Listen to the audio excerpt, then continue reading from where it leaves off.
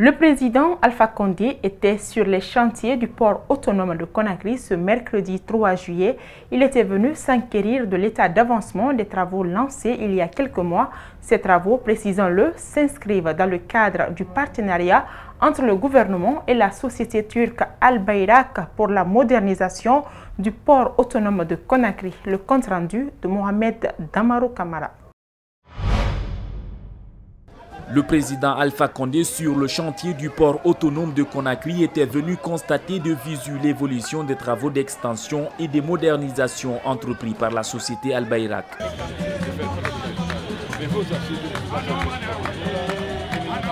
Du nouveau bloc administratif de la direction générale du port à la pénétrante, imprégné à chaque étape de l'exécution des travaux, le chef de l'État, après un long périple sur fond des ovations, a exprimé toute sa satisfaction.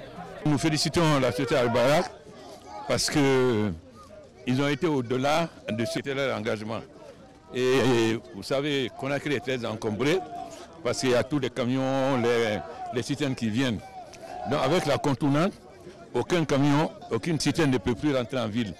Ils viennent à partir du 8 novembre, ils prennent euh, la pénétrante qui va être faite là. Il y aura un parking pour 650 camions. Donc euh, il n'y aura plus d'encombrement. Le port autonome de Conakry s'inscrit dans la compétitivité portuaire. C'est un pari osé du président Alpha Condé et la directrice générale Mama Aïsata Haribo veille à la concrétisation de ce projet. Nous sommes en train de travailler avec le groupe Al-Bayrak.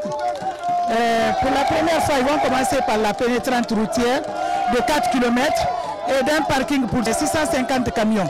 Ensuite, ils vont procéder à l'éclairage du port et la réhabilitation des quais. Ils vont fonder le chenal d'accès et le bassin portuaire à moins 14 mètres.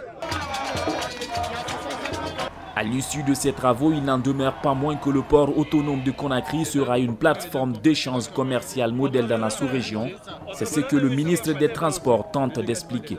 Il n'y a pas moins de 500 millions de dollars qui vont être investis au niveau du port sans que cela ne coûte un franc à l'État. Bien au contraire, au titre du contrat de concession, l'État percevra une moyenne annuelle chaque année donc de 13 millions de dollars, non compris donc tous ces investissements qui vont être faits pour faire de notre port un véritable hub sur-régional, un port compétitif. Al-Bayrak bénéficie de toute l'assurance de l'État guinéen. Un contrat de gestion d'une durée de 25 ans a été signé avec la société turque.